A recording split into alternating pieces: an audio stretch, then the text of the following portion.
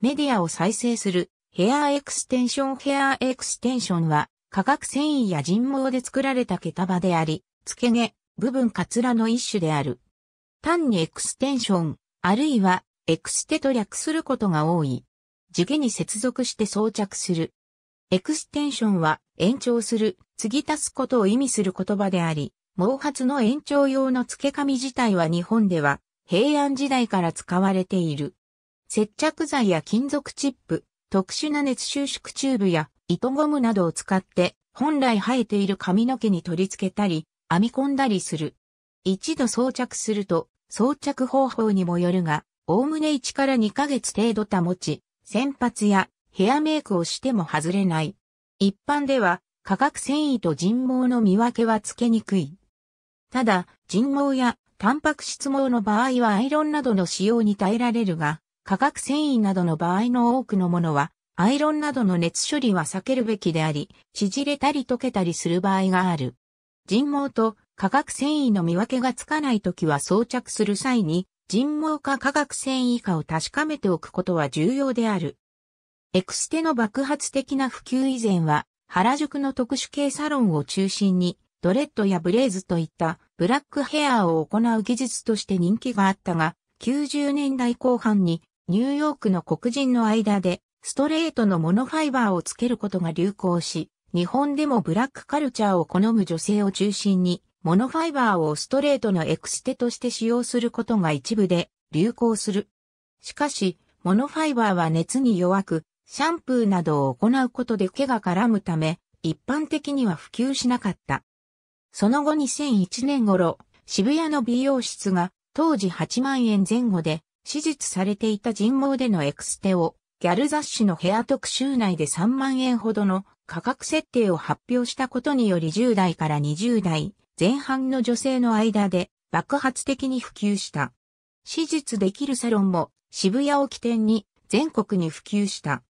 エクステをテーマとしたヘアカタログはもちろん一般向けに実施されたヘアショー、ウルトラサロンは中規模クラブでの開催ながら、初回は3000人、翌年は渋谷のクラブウームに5000人を集客し、エクステが一般に定着するきっかけとなった。エクステ毛は中国や東アジア、インド、中東、アフリカ、ロシア近郊などの人が長く伸ばした髪を加工した製品が日本をはじめ世界中で使用されている。世界のヘアーエクステンションの原毛の供給で世界の半分以上は中国産となっている。毛質によって価格は様々であるが、つまりや重量、長さなどで価格が変わる。髪の毛は一部の国では黒いダイヤとも呼ばれており、若い女性の髪の毛は特に高価である。長い人毛は供給量が年々少なくなっており、また為替の影響もあり、品質の良いものは年々価格が高騰してきている。装着後にパーマやカラーもできるが、キューティクルやコーティングが剥がれてしまい、ダメージを受けるので避けるべきである。ヒューマンヘアと形状記憶人工毛を混ぜたエクステや人工タンパク質毛も存在している。ヘアエクステンションを代表する人毛の加工は、世界需要のほとんどが中国で行われており国の基幹産業の一つであり、価格統制されている。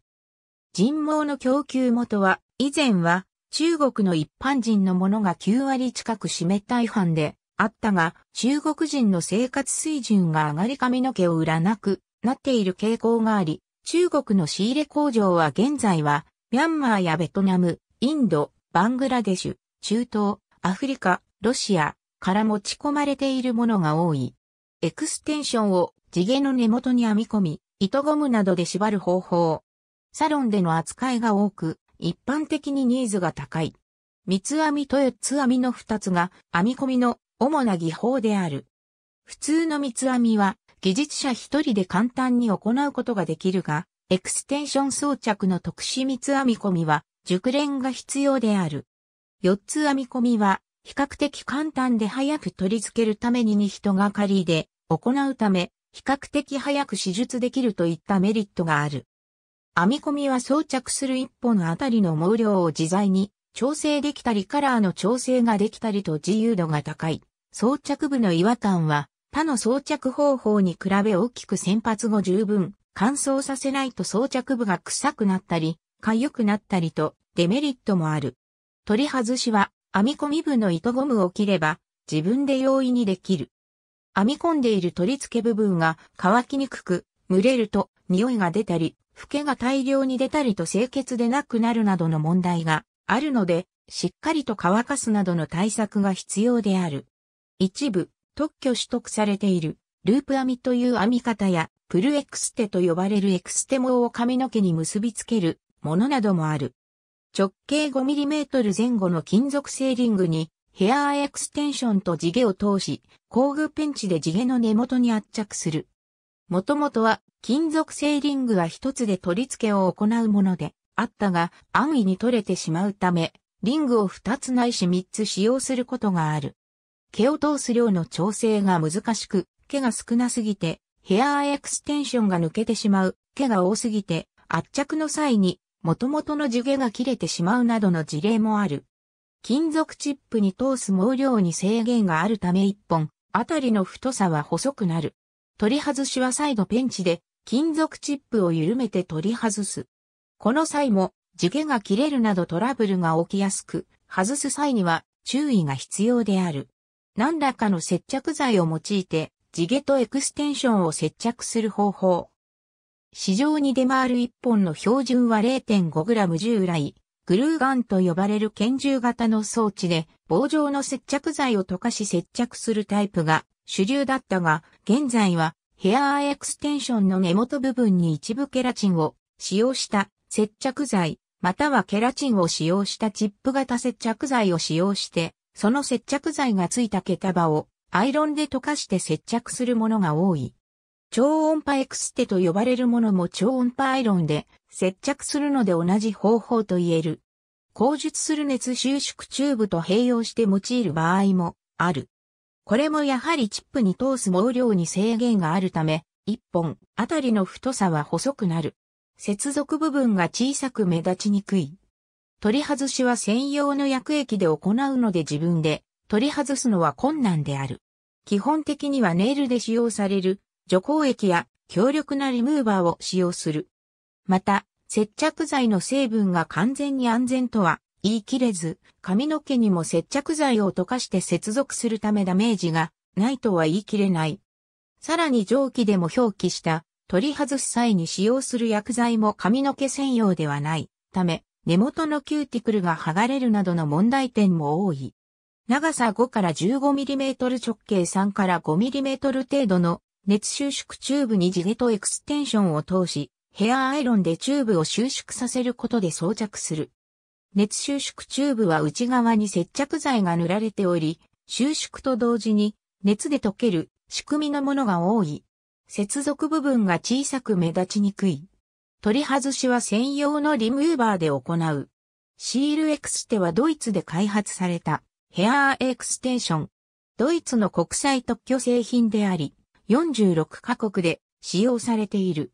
日本では実用新案登録がなされている進化したメーカー製のシールエクステも発売されている。特許関連正規品として発売されているものは日本では3社メーカーほどに限られる。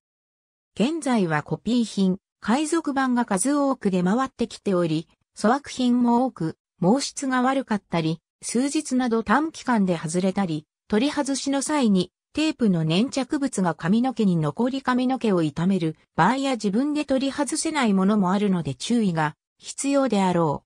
う。エクステの根元部分に粘着テープがあらかじめついており、取り付けにアイロンなどの器具を必要とせず、取り付けがとても早い。また平面で取り付けるため装着感が良く、薄いため違和感なく、馴染みがとても良い、ただ横に動かすと地毛が引っ張られることもあるので、多少取り付け技術が必要である。美容室にとっては技術力があまりなくても簡単に取り付けを行えるため短時間で利益を上げやすいなどのメリットがあり、また装着感や馴染みの良さから現在はエクステの主流となっている。最近では取れやすさ対策として両面テープ部分の補強として蒸気の接着超音波でも使用する接着剤を使用して長時間つけることが可能であるが、結局は超音波などの方法と接続方法が同じになっているため、髪の毛へのダメージや取り外す際の懸念や問題点などがある。現在日本を含む世界中で販売されているヘアーエクステンションは人毛100%と表記されているが、その多くが虚偽の表記である可能性がある。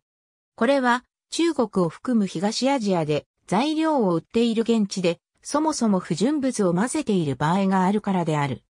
人毛の価格に対して人工毛やファイバー毛は約20分の1、動物毛は約15分の1の価格で売られており、商品の20から50%程度混ぜることにより、価格を落とし仕入れを安くすることができる。混ぜても一般的に見た目ではわからないことが多い。代表的な簡単な見分け方、エクステを高温でアイロンをかけてみると人工毛やファイバー毛は溶ける、または伸長する。燃やしてみると匂いが髪の毛と大きく異なり、燃え方も異なる。また、世界中から東アジアに押し寄せるバイヤーも2004年頃から続く価格高騰により不純物を入れて価格を下げるように現地の製造工場やサプライヤーに仕入れ価格を抑えるためにあえて指示をしていることもあり価格を安く販売しているところに畳みられる。そのまま人毛100%でないまま各国に輸出されて人毛100%としてエクステに詳しくない美容ディーラーや新興メーカーが売っている現状がある。これは世界的に購入するエンドユーザーに対し虚偽報告であり、一部詐欺行為などの可能性があり、問題視されている。これは関係省庁や政府が取り締まるにしても人毛ではないと証明するにはとても難しいため、なかなか対応ができない現状がある。現在は技術が進歩して耐熱ファイバー網も出回っている。以前は120度の熱耐久があったが、2017年現在では160から180度の熱耐久のものが出てきている。こういった人工毛の存在が人毛100%という表記が本物かどうかを紛らわせる要因にもなっている。